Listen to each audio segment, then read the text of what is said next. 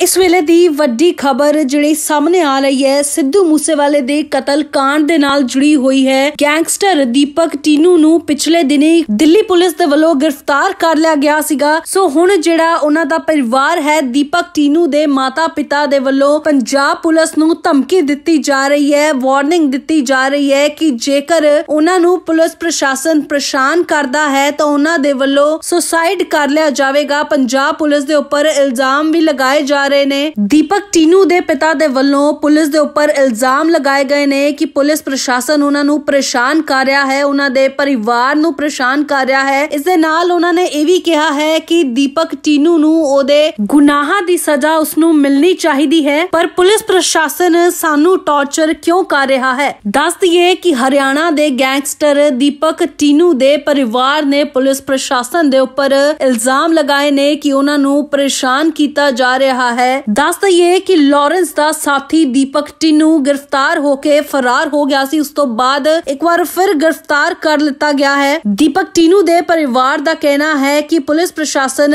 ਉਹਨਾਂ ਨੂੰ ਦੀਪਕ ਟੀਨੂ ਦੇ ਨਾਮ ਤੇ ਟੌਰਚਰ ਕਰ ਰਿਹਾ ਹੈ। ਜੇਕਰ ਪੁਲਿਸ ਨੇ ਆਪਣਾ ਰਵੱਈਆ ਨਹੀਂ ਬਦਲਿਆ, ਤਾਂ ਪੂਰਾ ਪਰਿਵਾਰ ਸੁਸਾਈਡ ਕਰ ਲਵੇਗਾ, ਆਪਣੀ ਜੀਵਨ ਲੀਲਾ ਸਮਾਪਤ ਕਰ ਲਵੇਗਾ। ਹਾਲਾਂਕਿ ਪੁਲਿਸ ਨੇ ਇਸ ਸਾਰੇ ਇਲਜ਼ਾਮਾਂ ਨੂੰ ਸਿਰੇ ਤੋਂ ਨਕਾਰ ਦਿੱਤਾ ਹੈ। ਦੱਸ ਦਈਏ ਕਿ ਦੀਪਕ ਟੀਨੂ ਪਿਛਲੇ ਦਿਨੀ ਪੰਜਾਬ ਪੰਜਾਬ ਪੁਲਿਸ ਦੀ ਕਸਟਡੀ ਤੋਂ ਭੱਜ ਗਿਆ ਸੀਗਾ, ਲੇਕਿਨ ਦਿੱਲੀ ਪੁਲਿਸ ਦੇ ਸਪੈਸ਼ਲ ਸੈੱਲ ਨੇ ਅਜਮੇਰ ਤੋਂ ਦੀਪਕ ਟਿੰਨੂ ਨੂੰ ਦੁਬਾਰਾ ਗ੍ਰਿਫਤਾਰ ਕਰ ਲਿਆ ਹੈ। ਉਸ ਦੇ ਕੋਲੋਂ ਪੰਜ ਹੈਂਡ ਗ੍ਰੇਨੇਡ ਤੇ 2 ਸੈਂਟੀਮੀਟਰ ਆਟੋਮੈਟਿਕ ਪਿਸਟਲ ਵੀ ਬਰਾਮਦ ਕੀਤੀ ਗਈ ਹੈ। ਦੱਸ ਦਈਏ ਕਿ ਦੀਪਕ ਟਿੰਨੂ ਉੱਪਰ 32 ਕੇਸ ਹੋਰ ਦਰਜ ਨੇ ਤੇ ਇਸ ਦਾ ਜਿਹੜਾ ਖਮਿਆਜ਼ਾ ਹੈ, ਉਹ ਉਹਨਾਂ ਦੇ ਪਰਿਵਾਰ ਨੂੰ ਵੀ ਭਰਨਾ ਪੈ ਰਿਹਾ ਹੈ। ਪਿਛਲੇ ਕੁਝ ਦਿਨੀ ਟੀਨੂ ਦੇ ਪਿਤਾ ਦੇ ਵੱਲੋਂ ਪ੍ਰੈਸ ਕਾਨਫਰੰਸ ਕੀਤੀ ਗਈ ਸੀਗੀ। ਪੱਤਰਕਾਰਾਂ ਦੇ ਨਾਲ, ਜਿਸ ਦੇ ਵਿੱਚ ਉਹਨਾਂ ਨੇ ਪੁਲਿਸ ਦੇ ਉੱਪਰ ਗੰਭੀਰ ਇਲਜ਼ਾਮ ਲਗਾਏ ਹਨ ਕਿ ਟੀਨੂ ਦੇ ਜੋ ਵੀ ਅਪਰਾਧ ਨੇ ਉਸ ਦੇ ਕਾਰਨ ਉਹਨਾਂ ਨੂੰ ਪਰੇਸ਼ਾਨ ਕੀਤਾ ਜਾ ਰਿਹਾ ਹੈ। ਜੇਕਰ ਉਹਨਾਂ ਨੇ ਸਾਨੂੰ ਪਰੇਸ਼ਾਨ ਕਰਨਾ ਬੰਦ ਨਹੀਂ ਕੀਤਾ, ਤਾਂ ਅਸੀਂ ਸਾਰਾ ਪਰਿਵਾਰ ਸੁਸਾਈਡ ਕਰ ਲਵਾਂਗੇ, ਆਪਣੀ ਜੀਵਨ ਲੀਲਾ ਸਮਾਪਤ ਕਰ ਲਵਾਂਗੇ। ਇਹ ਸਾਰੇ ਇਲਜ਼ਾਮ ਜਿਹੜੇ ਪੁਲਿਸ ਦੇ ਉੱਪਰ ਲਗਾਏ ਜਾ ਰਹੇ ਨੇ, ਟੀਨੂ ਦੇ ਪਰਿਵਾਰ ਦੇ ਵੱਲੋਂ, ਟੀਨੂ ਦੇ ਪਿਤਾ ਦੇ ਵੱਲੋਂ ਪ੍ਰੈਸ ਕਾਨਫਰੰਸ ਦੇ ਵਿੱਚ ਇਹ ਸਭ ਦੱਸਿਆ ਗਿਆ ਹੈ।